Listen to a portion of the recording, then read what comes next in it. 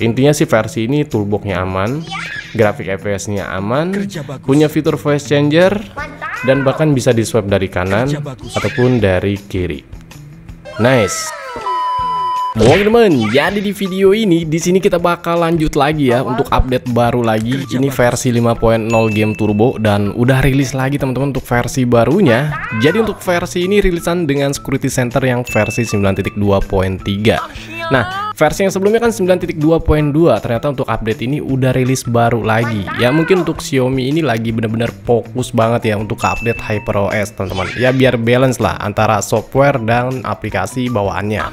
Nah, tapi untuk versi ini buat kalian yang pengen pakai ya, ini juga bisa sebetulnya buat kalian pakai di MIUI berapapun. Cuman mungkin buat kalian yang pakai room selain room Cina, fiturnya itu bakal terbatas kayak turbo game turbo maupun shortcut aplikasi sebagai tampilan voting Windows teman-teman Nah selebihnya untuk performance ini bakal lebih berbeda karena mungkin lebih ke utamain ke performance sih. Kalau untuk mode versi Cina teman-teman karena kan biasanya kalau versi beta itu lebih performance tapi fiturnya masih ada bug kayak gitu.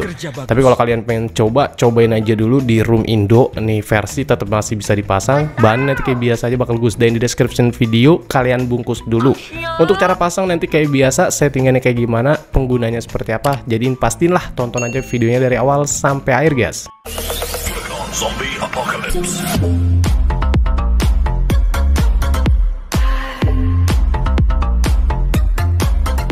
Oke, jadi di sini langsung aja kita gaskan pasang dan pasangnya biar nggak ribet pakai aja ZRCiver aja langsung. Terus kalian tap aja pada folder download dan ini mentahannya teman-teman masih berformat zip. Nah, dengerin bocil-bocil sayang ya. Ini kar karena di video sebelumnya ada yang bilang udah di download foldernya nggak bisa dibuka.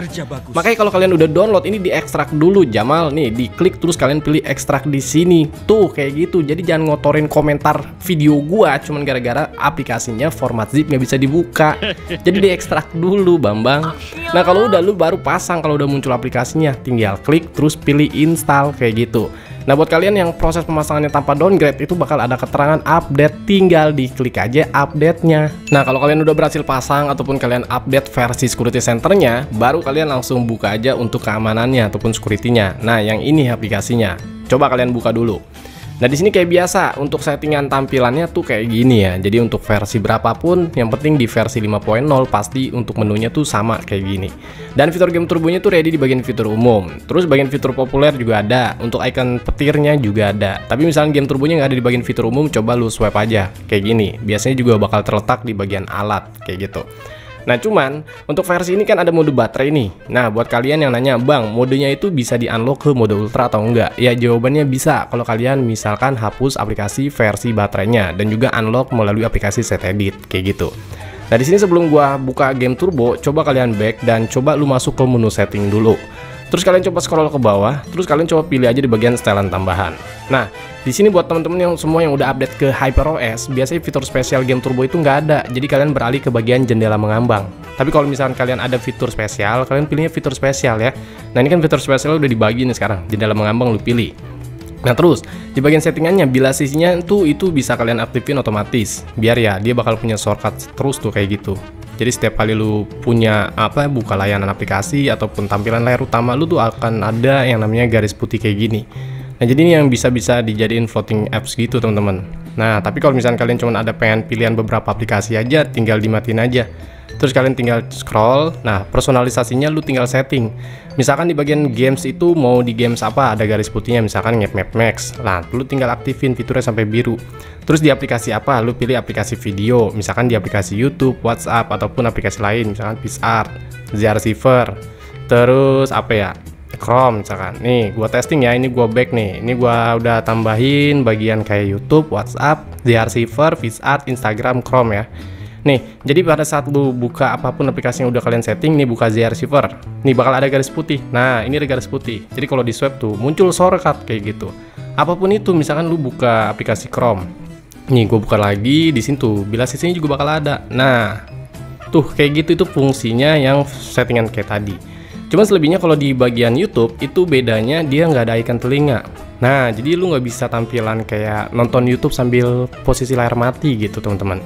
Jadi ya sayangnya untuk versi ini belum bisa. Tapi untuk floating apps, nah jadi lu buka YouTube, buka WhatsApp, ini floating apps-nya aman. Dan sekarang kalau kita udah bahas untuk floating apps-nya, kita langsung bahas aja untuk game turbonya teman-teman. Nah kita buka. Nah kalau kalian misalkan icon game turbonya nggak ada, ini berarti di bagian settingan uh, beranda game turbonya di UI-nya itu belum diaktifin. Jadi coba kalian masuk dulu ke keamanan. Ini kalian masuk.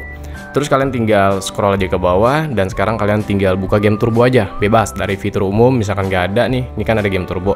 Coba di scroll, di swipe lagi, ini ada game turbo. Jadi tinggal dibuka aja dulu lah. Diklik aja teman-teman. Oke, jadi di sini gue udah masuk ke beranda game turbonya. UI-nya ya tampilan background sama, tampilannya hampir sama dengan versi-versi yang resmi Indo ataupun yang versi lama juga kayak gitu. Untuk monitoring baterai CPU GPU aman, gamesnya juga udah masuk, tapi misalkan games kalian nggak ada ya tambahnya dari icon plus. Biasanya itu bakal kedetek lagi kayak biasa.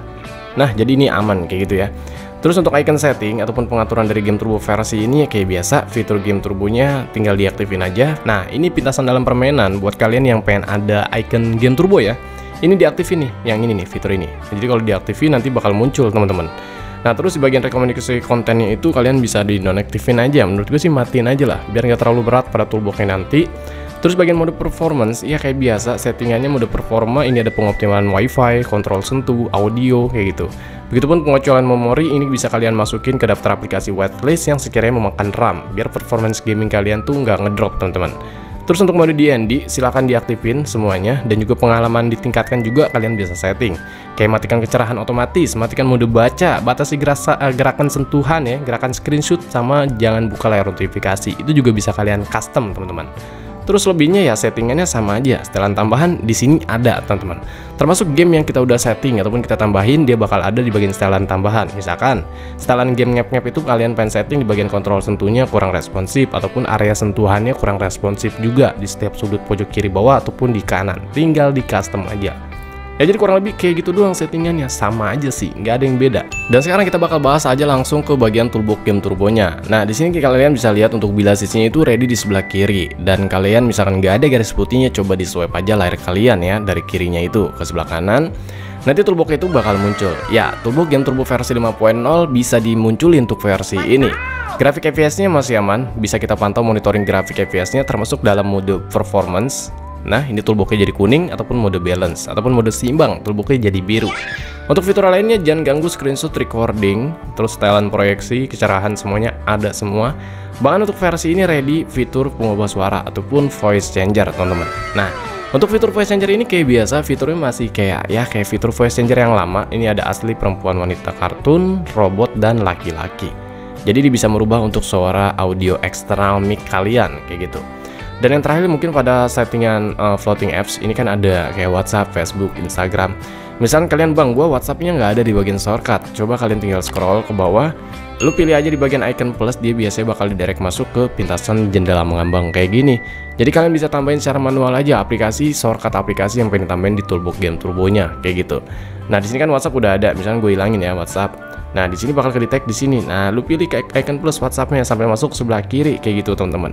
Apa pun aplikasinya, TikTok, browser, Instagram kayak gitu, Facebook ataupun yang lainnya, Telegram ya, sama caranya kayak gini. Nah, selebihnya kalau kalian udah pilih selesai dan selesai ditambahin, coba di swipe lagi bila sisinya, nanti floating apps-nya itu shortcutnya bakal ready. Nah, di sini kan WhatsApp nggak ada tuh hilang tuh ya. Nah, ini bakal ready di sini. Nah, WhatsApp-nya berhasil. Jadi kalau kalian tap seperti ini WhatsApp dia bakal jadi tampilan floating Windows. Jadi bisa sambil settingan lah, sambil chattingan, settingan lagi.